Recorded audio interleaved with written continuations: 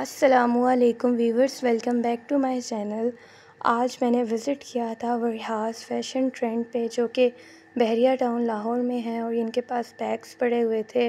और मैंने भी यहाँ से एक बैग लिया था, क्योंकि बहुत प्यारे बैग्स थे। और यहाँ पे इनके पास सन ग्लासेस भी थे स्काफ भी थे।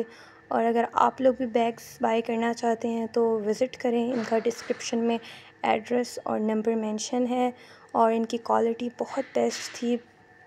ये ग्रीन कलर में बैग था और ये सनग्लासेस आ गए हैं और सनग्लासेस भी इनके पास ब्रांड के थे और ये कॉलेज के लिए भी आप लोग यहाँ से बैग्स ले सकते हैं।